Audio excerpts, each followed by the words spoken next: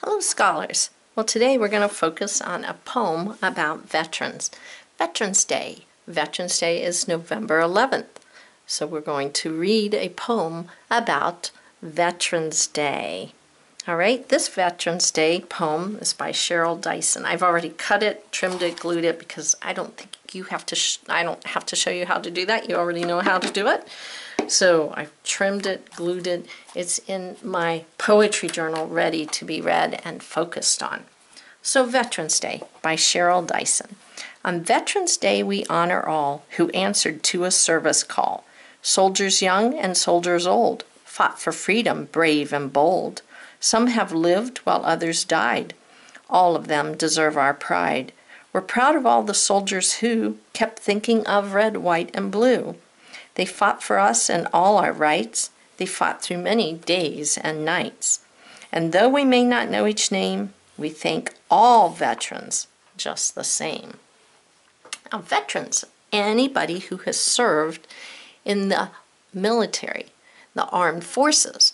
In the United States, we have five branches of the armed forces. We have the Army, the Navy, the Marines, the Coast Guard, and the Air Force. So if you know a veteran, maybe your dad or your mom or an uncle or an aunt, or even if you have an older brother and sister, maybe they're serving in the military. If they've served in the Army, Navy, Marine, Coast Guard, or Air Force, they are veterans. And we owe them a great deal of thanks and respect for putting their life on the line for our country and our freedoms. So, first thing we're going to do, read over our poem and we're going to listen for the rhyming words.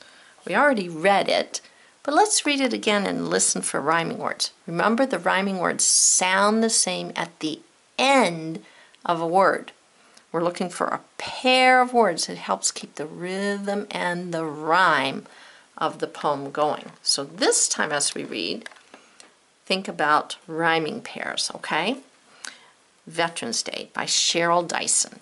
On Veterans Day, we honor all who answered to a service call. Soldiers young and soldiers old fought for freedom, brave and bold. Some have lived while others died. All of them deserve our pride. We're proud of all the soldiers who kept thinking of red, white, and blue. They fought for us and all our rights. They fought through many days and nights. And though we may not know each name, we thank all veterans just the same. So I'm going to take my highlighter, which today is going to be my yellow crayon, and I am going to look for words and listen for words that rhyme. So can you think of a word that rhymed or a pair of rhyming words? Let's just read the first two lines. On Veterans Day, we honor all who answered to a service call. There's a rhyming pair. All and call. They sound the same at the end. All, call. Look, even all is in the word call. So we know that's a rhyming pair because they sound the same. Let's continue. Soldiers young and soldiers old fought for freedom, brave and bold. How about old and bold? Do they rhyme? Do they sound the same at the end? Yes, they do. So I'm going to highlight old and bold. Let's do the next few lines. Some have lived while others died. All of them deserve our pride. Died and pride. Yes, they rhyme. They don't look the same, but remember, rhyming words don't look the same. Rhyming words sound the same. I think I see a pattern. I think I can just go through and highlight all the last words, but that'd be kind of cheating our brain. So let's make sure that they do indeed rhyme. You never know. Sometimes they might put a, a couple lines in there that don't have a rhyming word. We're proud of all the soldiers who kept thinking of red, white, and blue. Who and blue? They rhyme.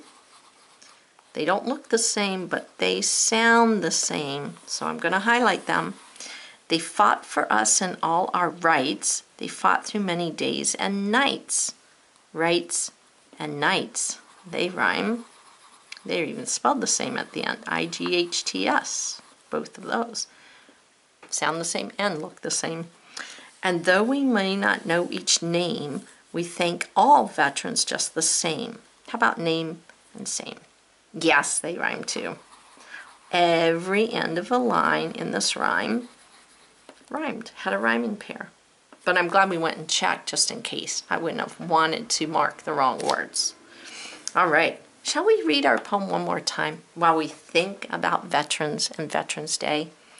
All right, Veterans Day by Cheryl Dyson.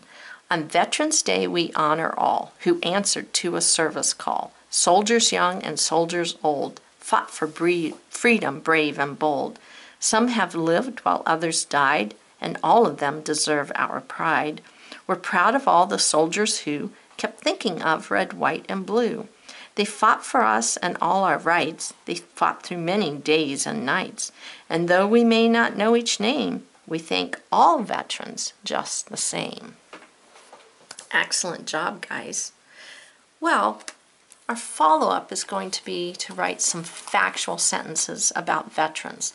So we're going to go over here to our follow-up page and we're going to write the directions. Remember, it's really important that we write the directions so in case we don't finish at one time, we won't go, I don't remember the directions. And mom and dad are not in our room, so they don't know what we talk about. Write five factual sentences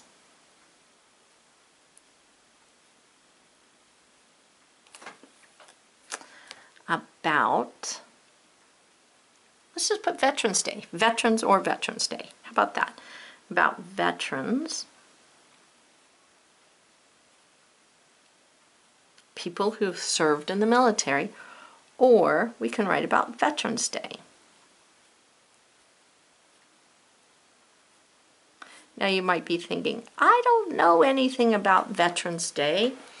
Well, don't worry, we're going to read some books where we can gather some facts. Maybe watch a short little video clip so you can grab some facts and write them down. Make sure that you are writing sentences. And we know they've got to have a capital letter at the beginning. They have to end with a period, some kind of punctuation. And we're going to write five of them. They have to make sense. So you just can't write words without capitals. Some of you have been forgetting your capitals lately, so make sure every sentence you write begins with a capital letter. All sentences. And how about we just put a one there? Well, what's something we know about veterans or Veterans Day? I'll give you the first sentence. If you want to copy this one, perfectly okay. Veterans Day. So here's a fact about Veterans Day. Veterans Day is November 11th. It's always the 11th of November. That's the day that World War I ended. The 11th day, the 11th month, at the 11th hour. So sometimes we pause for a moment of silence to remember all the people who've given their lives for us, that we can have freedoms. So there's one sentence. Two. I skipped a line, it just makes it look neater. Two. And you're going to find out another one. Remember, as we read our other books, or we watch video clips, or have a discussion, you can write more. I said something about veterans and um, the five veterans are people who've served in the military. There's another fact. We could write that down. Now, what I don't want you to do is I don't want you to go to your poem and write down, um, soldiers are young and old. Yeah, but that's not really a fact. That's, I mean, it is a fact, but it's not a good, deep fact about Veterans Day. And don't go here and say, Veterans Day we honor all yes, we do, but that's not a complete sentence or a complete thought. So don't go copy things out of your poem. Just copy the words because that's not really the depth we're looking for here. We're looking for facts. Does our poem have facts? Yes, it does, but you have to switch them into facts. Like you couldn't say they fought for red, white, and blue. They kept thinking of red, white, and blue. What does that mean? What did they fight for? What is the red, white, and blue? It's America. So you could say veterans are military people who fought for America. There's the fact you get out of red, white, and blue. So don't just go pull words out of the poem and stick them over here. You might have to change them and dig deeper for the real meaning. All right? But um, think about the books we read. Write some write some facts down. Or you could have a conversation with your parents. They're a great source of information. All right, guys, five. You can illustrate if you like. A lot of people like to put red, white, and blue things on their poem, their poem book, you know, so I might might take my blue and put some stars up here. It looks more purplish, you know, just red, white, and blue stars. You know, I might find my red and add add some red stripes, kind of like I'm making the flag or something. I don't know, have fun. It's a good time to have fun. Might put a wavy, some wavy lines under there. Ah, there's my red, my blue, and my pages, my white. All right, guys? All right, I look forward to reading your factual sentences. Remember, periods and capitals. All right, guys, go out and do great works.